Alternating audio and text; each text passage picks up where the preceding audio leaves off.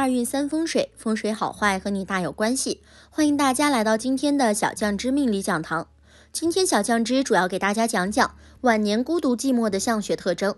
人的运势并非是一成不变的，有的人早年会有好运，而到了晚年运气却很差。当别人膝下承欢，儿孙满堂的时候，自己却形单影只，孤独终老。为什么会出现这样的现象呢？其实从命理角度分析，这与一个人的面相有关。当一个人面相出现一些不好的特征时，就容易晚年无依无靠、孤苦伶仃。具体有哪些特征呢？小江之老师今天从面相、志相、手相三个角度为酱友们讲解。一、晚年孤独的面相特征：一、拥有美神鼻的人，这种鼻型从额到鼻尖太过于接近一条直线，是西方美神的象征。其特征就是鼻梁窄长而平直，鼻根高，因此鼻根部位凹陷不明显。鼻尖较尖，鼻基底部呈水平位。拥有这种鼻相之人，往往具有争强好胜的性格，同时也是一个完美主义者。他们一生中往往难以接受平庸的男性做自己的爱人，故此他们是孤独的，也是寂寞的。这类女性，假如观念与心态再不改变的话，很可能会孤独一生。二，山根尖细。所谓山根，是指鼻梁顶端与印堂的交界处。此处生得尖细，而且鼻梁瘦削无肉，鼻准尖的人个性较为孤僻，不喜欢与人交往，因此朋友不多。假如尖门处再向下凹陷的话，此说明此人婚姻生活不理想，与配偶间的关系不好，有分离的可能。再加上本身不喜与人交往，到老时身边自然缺少人来陪伴，孤独难免。三泪堂处有杂纹，所谓泪堂，也就是人的下眼睑处。也就是人们常说的眼袋部位，此处在面相中称为子女宫，掌管着人的子女运。假如泪堂处生有杂纹的话，预示着其人的子女运较差，要么不能生育，要么与子女之间的关系不好，平时少往来，到老时子女很难在身边承欢膝下，生活会很孤独。四人中短浅有横纹，有此面相特征的人，通常子女都不太注重孝道，甚至会以下犯上，侵犯长辈。不口出恶言已然不错，更别提能在身边照顾，因此晚年生活较会孤独凄凉。五喉结凸起，吹火嘴。喉结凸起，嘴巴向前撅起，形状如吹火一样的人，平时口无遮拦，喜欢八卦和挑拨是非，平时人缘较差，朋友较少，即使是在遇到困难时，也少有人出手相帮。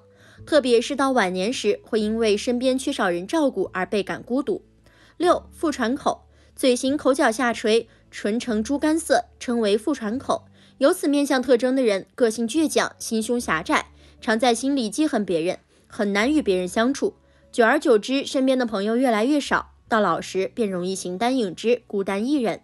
七唇形歪斜不正，生有这种面相的人，常常会招惹口舌是非，个性欠缺诚信。周遭的人即使刚开始被蒙混，但是看久了被看穿之后，便会远离。待到晚年时，常是身边无人，生活孤苦而穷困，即便富贵亦是孤独。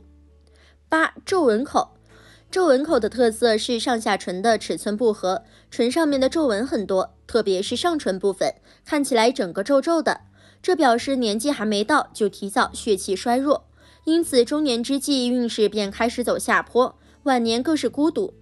皱纹口的长相就算再笑，看起来却像哭丧着脸。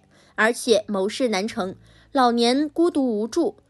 皱纹口的女性婚姻历程多属不幸，生活历经艰辛，即便得女子孝养，精神上仍难以放下过往伤痛，郁郁寡欢者居多。活在当下才是解脱法。九下巴短小，在面相学中，下巴代表一个人的晚年运。下巴生得短小的人，老年寂寞、贫困且子女运不佳。感情生活也不顺利，容易在晚年时孤独寂寞。二、晚年孤独的泪痣特征：一、额头发际处有痣，在额头的一侧靠近发际的位置长痣，被称为孤独痣。长有孤独痣的女子性情孤僻，寡言少语，与家人亲友的关系较疏远；男子则不利父母妻儿，通常会远离他们，独自在外生活。二、脸颊上有痣。脸颊上的痣也意味着孤独，较难安定下来组建家庭。如果长在笑肌上，意味着隐藏的灾难。为颧骨有痣，代表此人能够成为成功的管理者，在职场拥有权势和地位。三、下巴正中央有痣。假如在下巴的正中央位置长有墨痣的话，也是一种不吉利的表现，预示其人与子女关系疏离，晚年容易孤独无助，身边少人陪伴。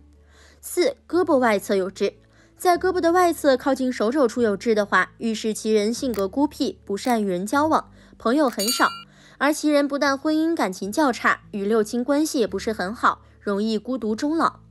五、手掌心有痣，手掌心有痣的人很少。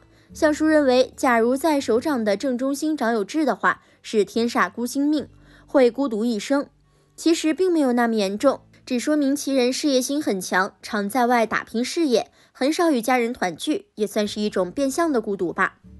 三、晚年孤独的手相特征：一、川字掌。川字掌有两大特点，一是钱多成就大，二是感情婚姻不顺，孤苦寂寞。所以手相川字掌是孤独的手相。一辈子没有开心的时候，就算事业做得再成功，依旧只有自己一个人孤独的享受。二断掌，断掌的人在性格上显得坚强，自信心充足，处事极为理智，不易受感情的影响，自然独立的性格。这种性格往往很要强，不听劝告，对婚姻较易产生波动，所以是孤独的手相。三感情线被小横线穿过，在手相中，如果感情线终止于中指。并且被许多小横线穿过，那么预示着其人爱情生活常发生痛苦或失败，事业上没有飞跃，一生容易被小人打扰，出现婚姻不幸福。特别是在中年的时候，人们的职业和事业容易发生突然变化的危机，所以婚姻不幸福，晚年孤老。四、婚姻线杂乱长短不一，婚姻线杂乱长短不一，代表一个人的感情很差。